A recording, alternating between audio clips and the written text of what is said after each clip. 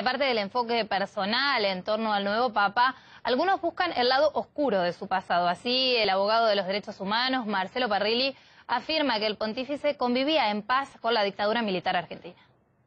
No me sorprende la designación del Papa. Lamentablemente la Iglesia, tanto Argentina como el Vaticano, apoyaron la dictadura y no les interesó en nada el problema de los derechos humanos.